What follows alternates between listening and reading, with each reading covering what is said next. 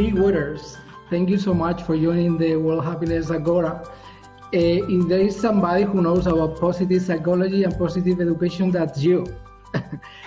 what's going on?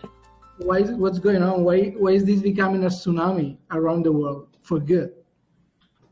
Good question. Um, well, I mean, I wish I had a, a, sort of more positive answer to start that question on why have we seen such a growth in the movement of positive education. And um, unfortunately, the major trigger for more and more schools across the world deliberately and strategically building well-being into what it is they teach students is just a rising rate of global youth mental illness. The World Health Organization recent statistics show that somewhere between 10 to 20% of young people across the world are experiencing mental illness. Um, that's really sad. Um, but what we also know about that is that it's underreported because it's very difficult to collect these kinds of statistics at a global level. You know, there are countries who don't collect these statistics. The countries who do collect these statistics do so in, in varied ways. We still have a lot of shame around mental illness. So young people underreporting their symptoms. Even with the underreport, the World Health Organization is suggesting somewhere between 10 to 20% of young people globally experiencing mental illness. It's very sad. The average age of onset for depression uh, globally is 14, and half of all mental illness begins at the age of 14, and that it's just such a young age. I mean, I have a 15 year old son myself, so I know how and a 12 year old daughter, you know, so I'm kind of right in that age bracket of when the brain is the most vulnerable to developing mental illness. Suicide is the number two leading cause of death globally for teenagers. And that just breaks my heart um, because it's preventable.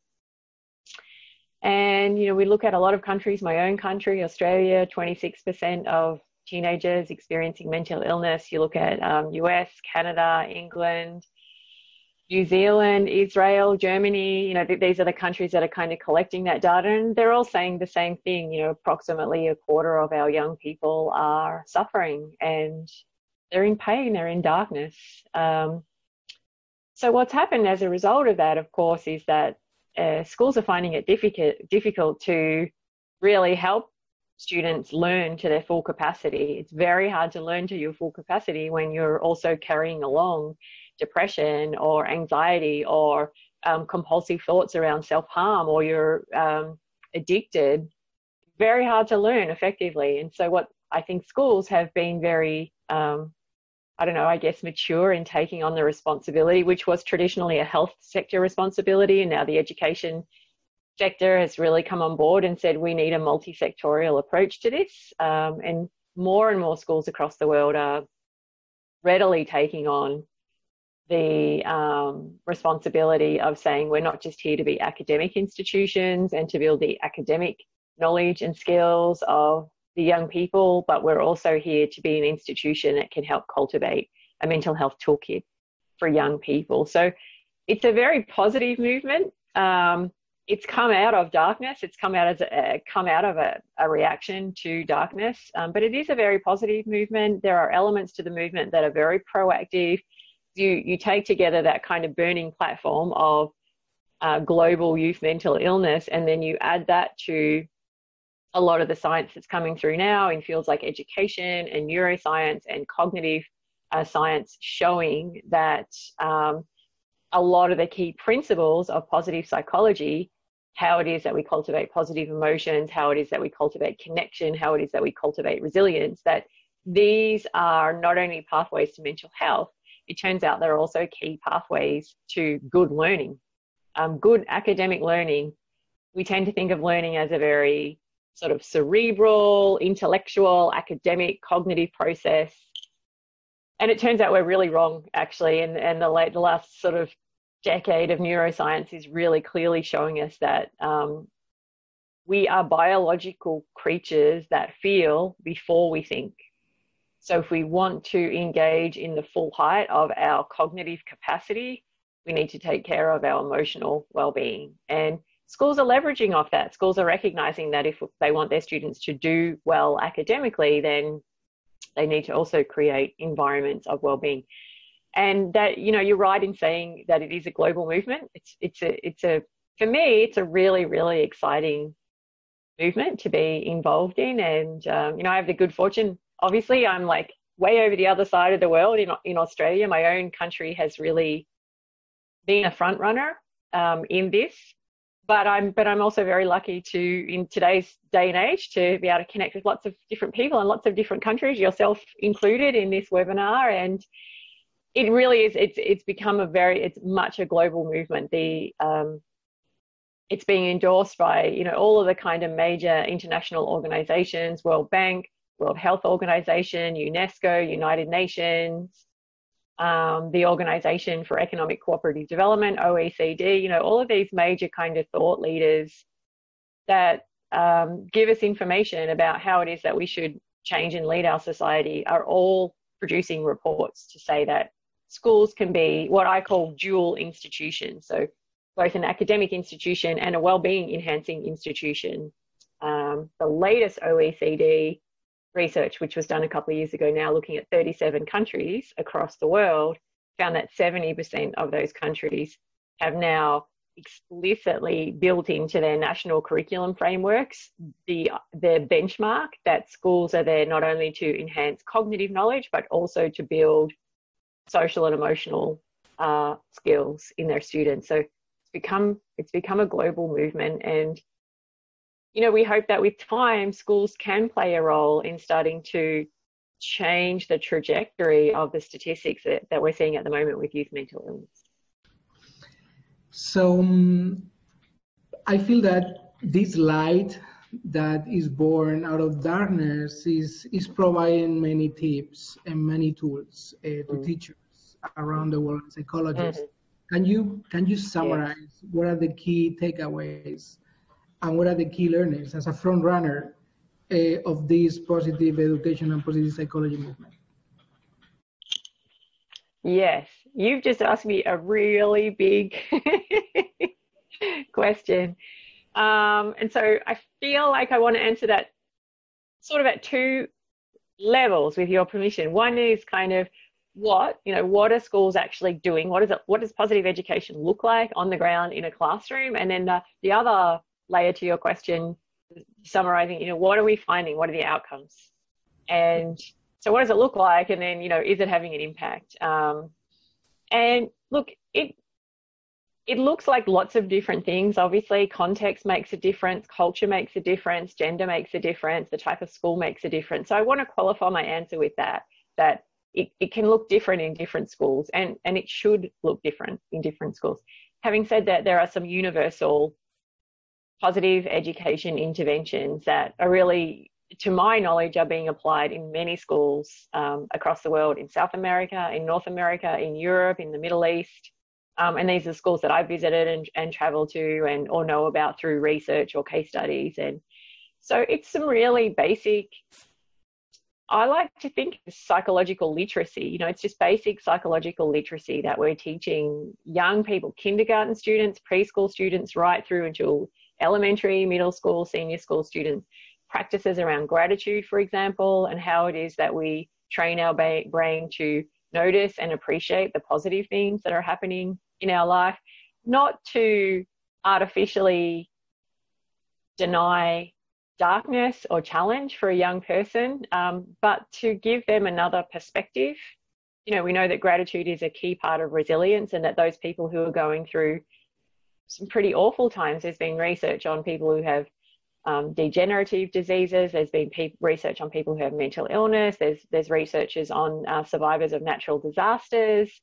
Um, research from uh, children who survived abuse, child abuse. That if they're able to find ways to notice and appreciate the small things in their life. And maybe it's the care from another person, maybe it's the sunshine on their back, maybe it's um, an interest or a hobby that they have. That this it doesn't take away the the struggles, but it helps you to step back and kind of look at your struggles with a broader perspective and know that there are there are still good things in your life. So gratitude is a big practice that's really being spread through a lot of schools.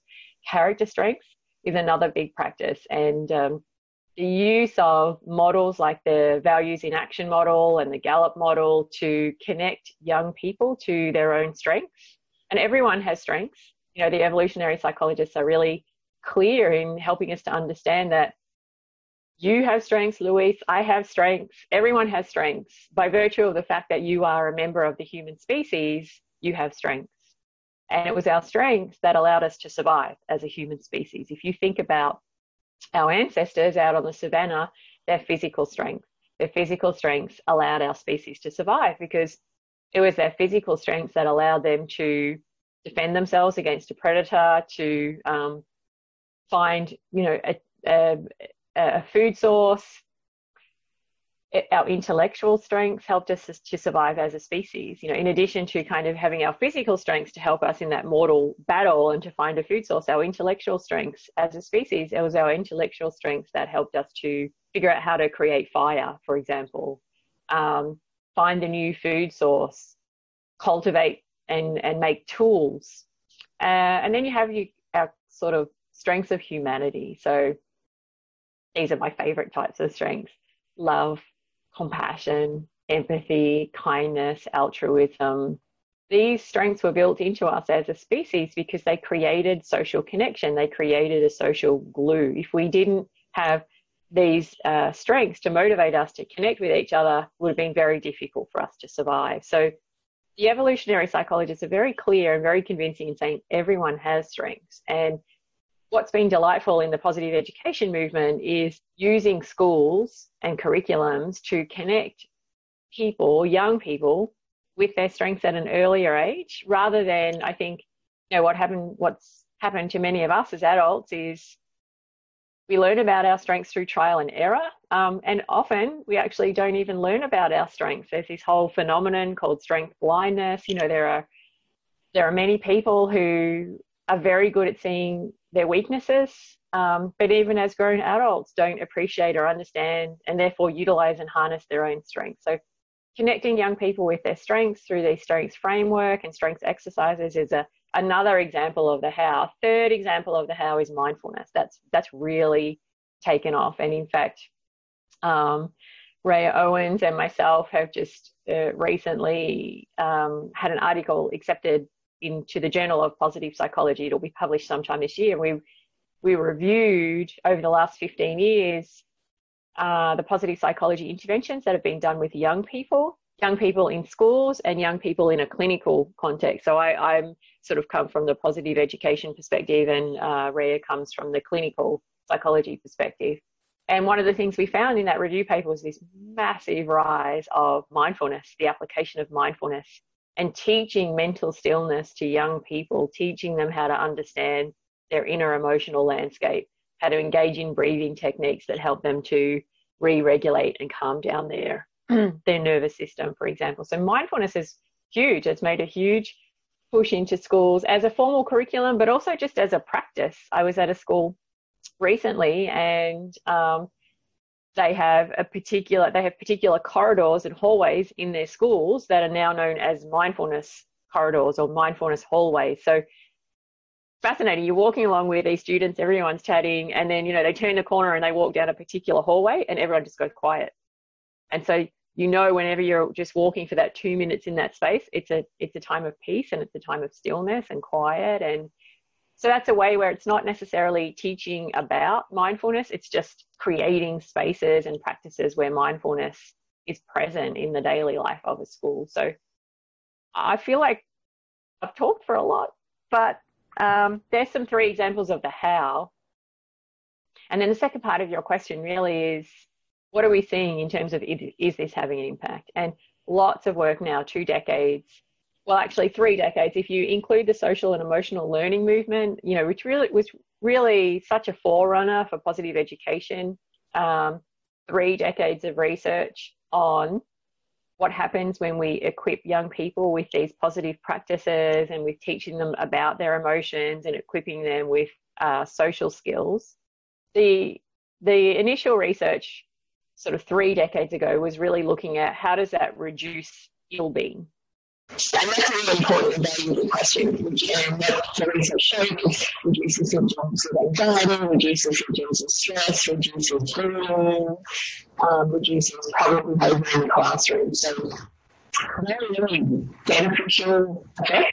If you're a teacher in a classroom and if you're the student, I think what where positive education came in and, and, and slightly kind of expanded the the outcomes in the research question was to say it's very helpful that these programs are reducing ill-being, but the field of positive psychology is, is also interested in how do we increase well-being.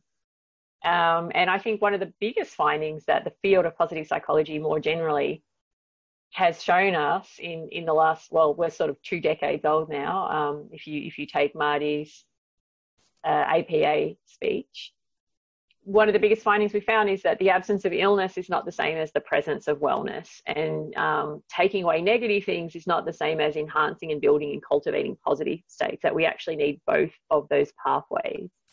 Um, I know in my book uh, and in some of my blogs, I've talked about my own uh, journey. Um, being raised in an abusive family, struggling with an eating disorder as a teenager, um, suffering from anxiety and depression in my early adult years and working really hard, training to be a psychologist and working with uh, psychiatrists and psychologists, overcoming a diagnosis of post traumatic stress disorder, overcoming an eating disorder, overcoming anxiety and depression. I found myself in my early 30s no longer suffering from symptoms of mental illness. And, and that was such a relief, such a relief to, to not not wonder when I woke up each morning, what is today going to be like? You know, is this going to be a dark day? Is this going to be an anxious day? But that didn't make me uh, like happy, healthy, zestful, vibrant person. It made me a person who was no longer ill, who no longer had symptoms of ill being. The absence of ill being is not the presence of well being. You know, in my own journey, I found myself in this sort of psychological limbo. You know, I wasn't experiencing ill being, but I wasn't really experiencing well being either. And um, so, building up your well being as an individual and in a classroom requires different activities. That's where we turn to things like gratitude and character strengths and mindfulness in conjunction with stress reduction, anger management, um, those more traditional approaches. And what we're finding when deliberately and intentionally put in place these more positive psychology oriented practices in school that yes, it does reduce symptoms of ill being for young people, but importantly, it also expands and amplifies states of well being. Um, common outcomes include things like high levels of life satisfaction in teenagers, high levels of engagement with school, greater sense of self confidence, more hope, more optimism, more positive emotions, um, and importantly, a greater sense of resilience, the, the ability to make the most of life when it's going well, which is the hope and the optimism piece, but also to be able to bounce back more quickly when life is challenging.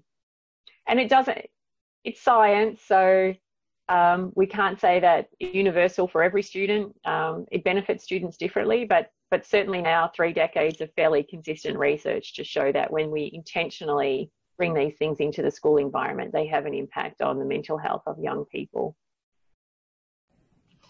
Wow, I love I love the answer. I think that we can structure all all the tips and all the all the the amazing response that you gave, and we can actually make a, a really interesting summary.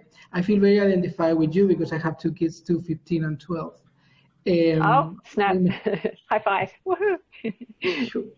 So I know I, we are experiencing and we are living in, in this world of gaming, of uh, online social networks that we oh. that we still need to figure out uh, how it's, it's going to have an impact.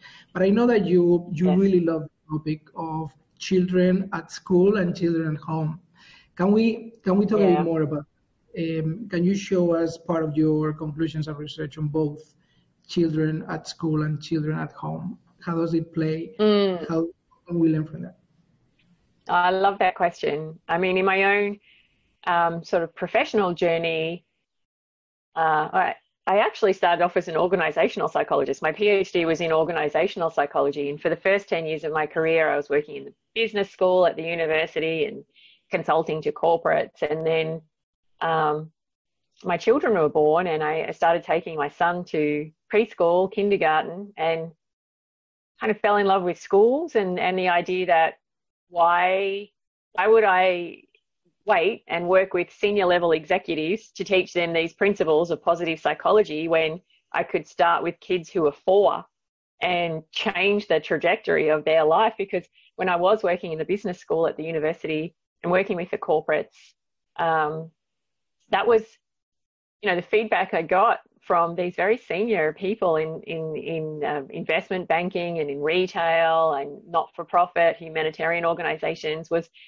why am I only learning this now? Why am I only learning this as a, you know, an adult in my 40s, my 50s, my 60s? It would have been so helpful if I had have had these skills at a young age. And so I had that kind of rolling around my head, and my son was just about to start school. And I was very committed as a parent um, because of my own childhood and my own background to do things very differently with my own two children. And so I had already, as a psychologist and a mother, with my little sample size of two children, mind you, started to like find ways of introducing gratitude and character strengths and resilient thinking and mindfulness and savoring just within my own little family home. But seeing that it was working, seeing that it was working with my children. And so started to bring that into schools and then um, having the success in schools with these various programs and as you know as i said to you before the outcomes that we were finding around higher levels of uh, life satisfaction and self-esteem, self-confidence, hope, optimism, etc.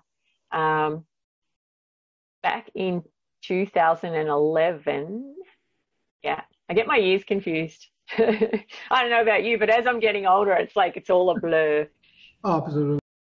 2000, 2009 was actually when I first started having these conversations with Marty Seligman. He was he was visiting um, out in Australia, and and we were at a dinner together um, at my university, and we were talking about the application of positive psychology into schools, which is something that he's very committed to. And um, and I was just talking about how I brought it into my family home. You know, he he had done the same, particularly with his wife Mandy, who has been a very strong advocate for the application of positive psychology in the home environment. And we started chatting about that uh, in 2011 when I saw him in Philadelphia what what I had found in the research so far was that a lot of work was being done with kids in clinical settings, a lot of positive psychology work was being done with kids in schools, but no one was doing the research for home and family and how it is that we educate the parents around these principles so they can start to interweave it into the daily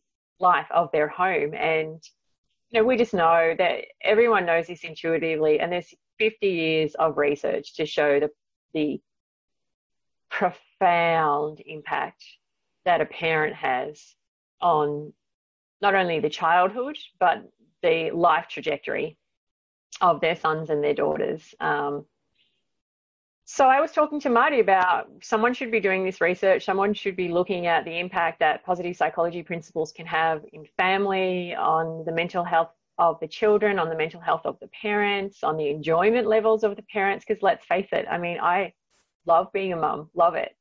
Can't imagine my life without my two children. Um, but it doesn't mean I always enjoy the role.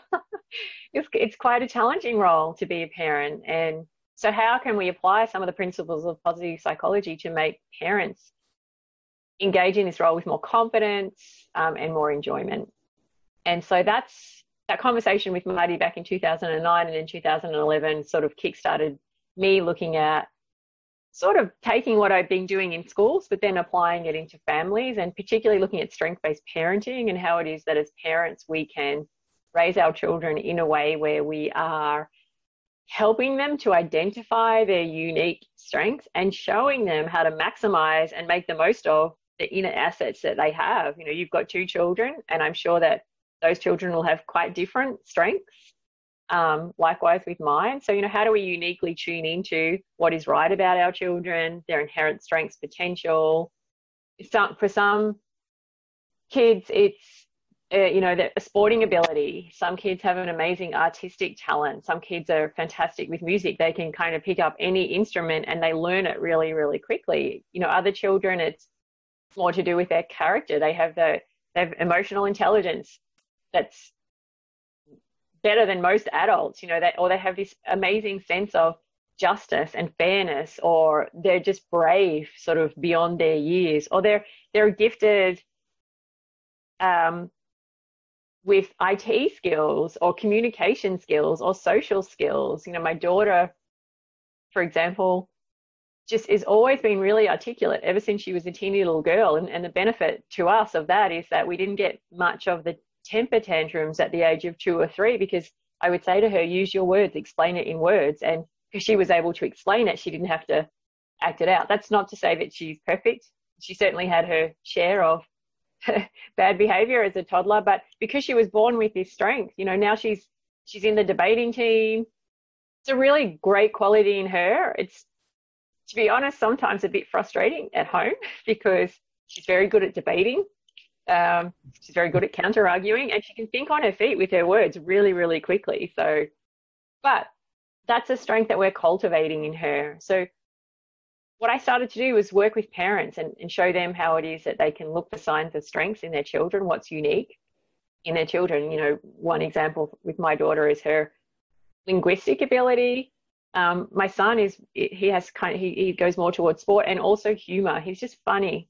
He seriously was born funny, and I, I remember him at seven months old trying as this little baby trying to make me laugh. Like it was like it was there from almost from such a young age. And now that's his thing. Like he he makes people laugh and he's really good at it. So how do we as parents identify the unique strengths and talents in our children give them confidence and then show them how to utilize those strengths to build up their mental health and to help them cope with adversity and make the most of good times um, so that i guess that's the big research question and then we've done, you know, quite an extensive research program coming out of the University of Melbourne, looking at the outcomes of strength-based parenting, um, outcomes for children themselves and teenagers, and then outcome for the parents. And and so some of the, I guess, I guess the way of summarizing what we found in, in these research programs is sort of two key themes that have come out. The first is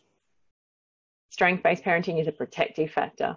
And what I mean by that is that um, the teenagers and the children who report having parents who help them to see and use their strengths report lower symptoms of depression, lower symptoms of anxiety, less stress, fewer negative emotions. And so the conclusion from that is that when you are raised with a parent who sees the good in you, when you are raised with a parent who helps you to identify and make the most of and harness your own particular strengths, that style of parenting buffers you against the kind of negative end of uh, mental illness. It, it, it, it doesn't necessarily, it's not a cure all. Strength based parenting is not a cure all, but you have lower levels of these things. So it provides a kind of buffer, a protective factor.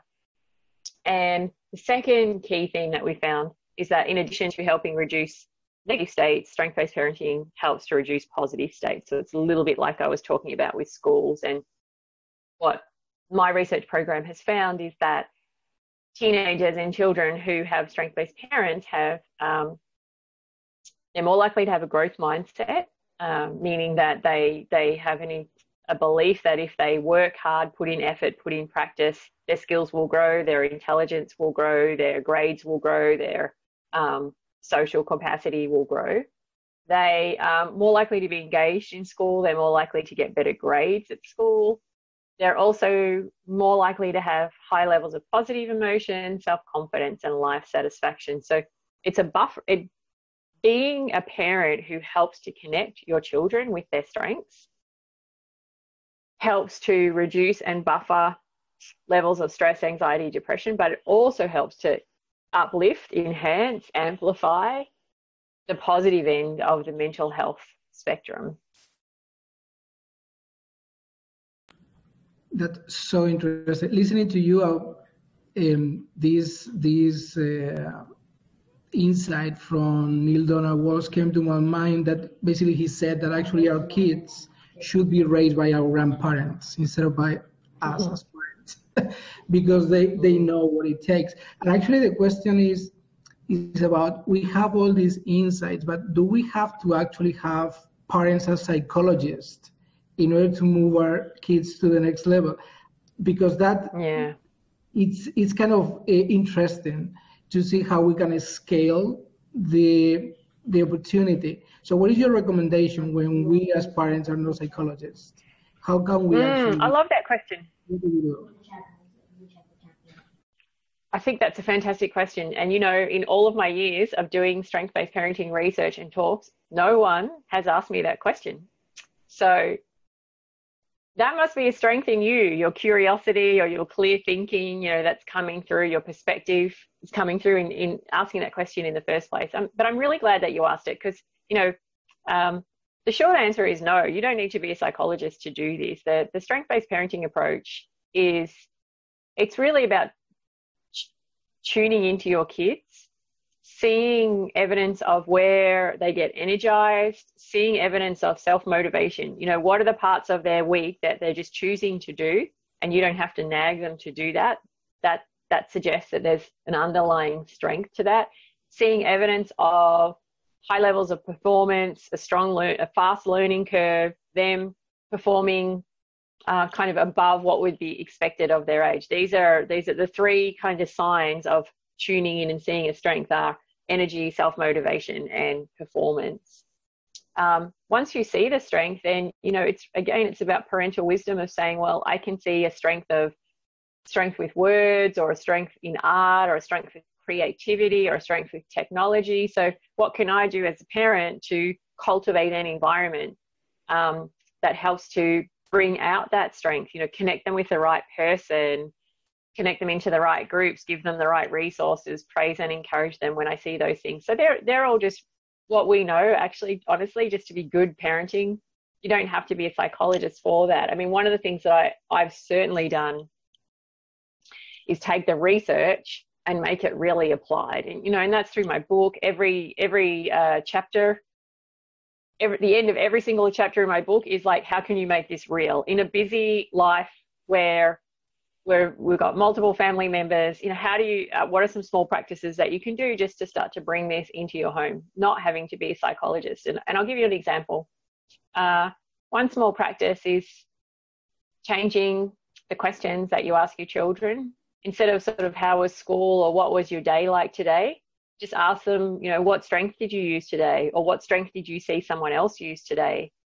So I find, um, and, and with the, the parenting programs that I run, like just ch- tweaking a few little things, changing the questions that you ask, trying to bring in a what went well ritual into your family. So maybe if you eat together of an evening, start the dinner. Sorry, I'm losing my voice. I need to have a little sip. Start your dinner with what went well for you today. Um, not every family gets to eat dinner every night. My family certainly don't. Um, maybe kind of twice twice a week we actually sit down as a group of four because in between work schedules and sports schedules. But finding other ways when you pick your kids up from school when they go to bed at night um, just starting to institute this practice of what went well bringing in routines. Um, thankful thursdays is a, is a nice one to do. So on a thursday what do you feel thankful for or who do you feel thankful towards? Mindful mondays. There's lots of like really concrete things that you can do as a parent that um, don't require you to be a psychologist and don't really, certainly don't require money or resources, just little changes in practice that um, you bring into the family that change the change the climate of the family. So yeah, like I said, my book has lots and lots of really concrete things, questions, things to put on your refrigerator, games to play, rituals to to put in place.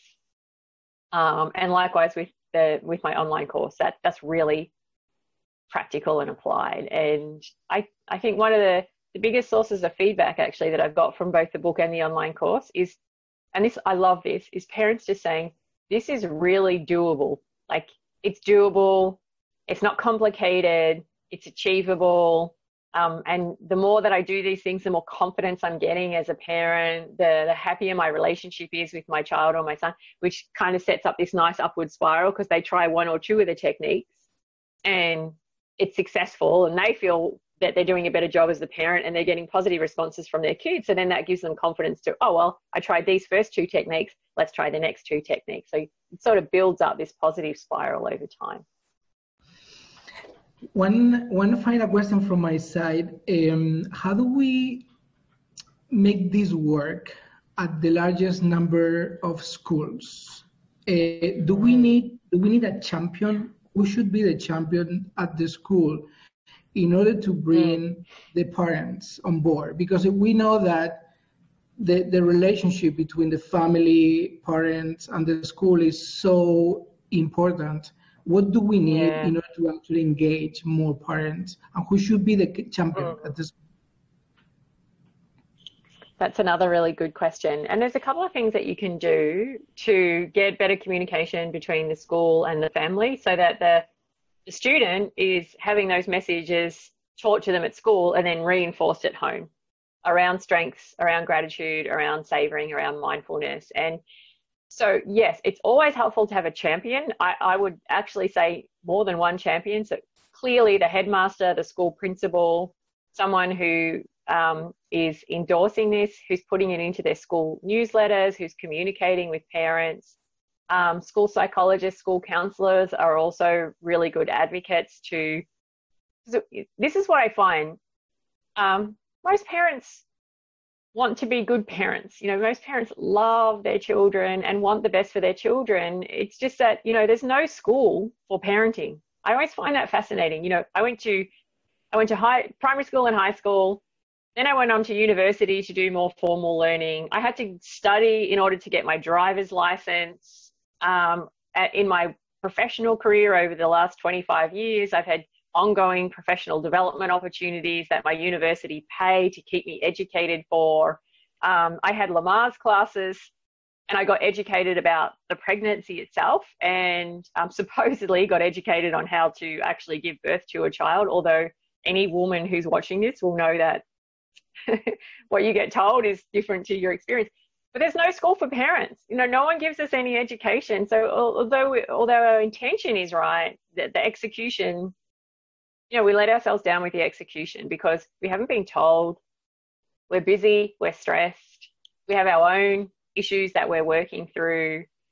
And so, a big part of what the schools can do is to communicate, but also educate, offer education to the parents. This is this has been one of the most heartwarming things that I've seen in my work with schools is that um, schools will bring me across and we'll run a parenting night, and it's booked out the, the lecture hall is full. In fact, in some schools, there was a school in Hong Kong that I worked with last year. They had to re- they had to ring me and say, "Could you stay an extra day?"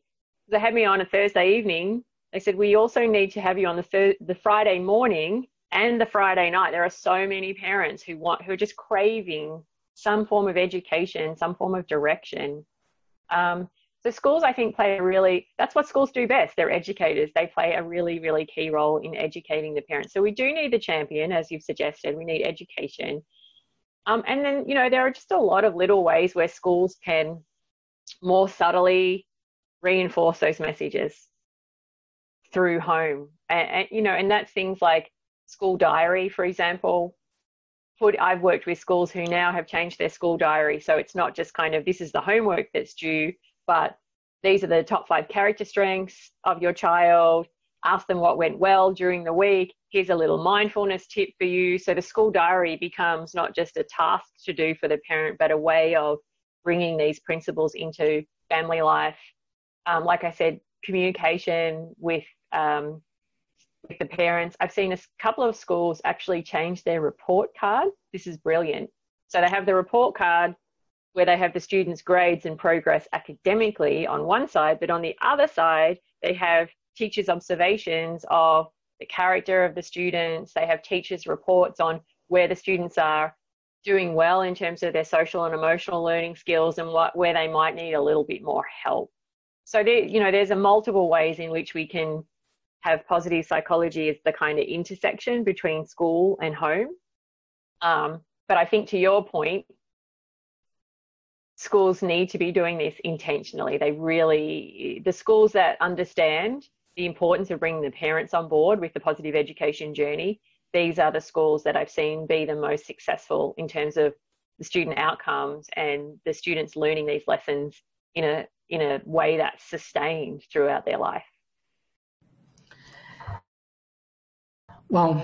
Uh, well, uh, Lea Waters, thank you for being a front runner and for leading by example. Oh, we have to you. clone. We have to clone you. we have to do all these thousands of schools around the world, and and I, am sure that our lives as parents would be much much better. So um, thank you so That's much. very kind uh, it's amazing that you are you are always always uh, as well the president of the International Positive Psychology Association, and and we know what your your big event coming up. So we have to yes. read your book, go to your online um, uh, training, and we have to get you all over the world. So let's do it. Yeah. well, maybe not me all over the world, but certainly um, I've got a lot of free resources on my website as well. And, yes. you know, one of the things that I have done in relation to what you were just saying was, you know, how can I get the practices and the science that I've developed out to as many people as possible without me having to always travel because it's a bit of an irony that um, I'm traveling all across the world to talk to other parents and then having to leave my own two beautiful children at home. So the way that we've done that is through the online course. Um, and that's been amazingly um, just successful. We've got parents from everywhere taking that course, which is lovely. And then also, um, I'm working with trained facilitators now. So certainly, if there's anyone listening to this who, who's interested in becoming a trained facilitator in any country, um, who wants to connect with community and parents and bring um, the practice to them, please direct them to my website, Luis, um, strengthswitch.com, and there you can see where you apply to be a facilitator. But that's just a new thing that we're doing right now, and, and it's exactly to your point of um, how do we get my ideas and my research and my practice out to as many parents as possible um, in a way that's, you know, culturally specific um, and sensitive, and in a way that allows me to keep my own energy levels, if I'm allowed to say that. well, thank you again, uh, Lea. It's it's a pleasure. Uh, let's uh, let's keep the ball rolling. Uh, the amazing work, and let's get your online trainings and everything uh, to as many people as possible. We'll be very happy to help here, anyhow. So thank you so much. Thank you. Oh my goodness. Thanks for the opportunity and good for you. I mean, it's wonderful that you're setting up this event and you're spreading the word to as many people as possible. And, and I'm just delighted to have the opportunity to be a part of it. So I really appreciate you thinking of me and inviting me onto the summit. Thank you so much.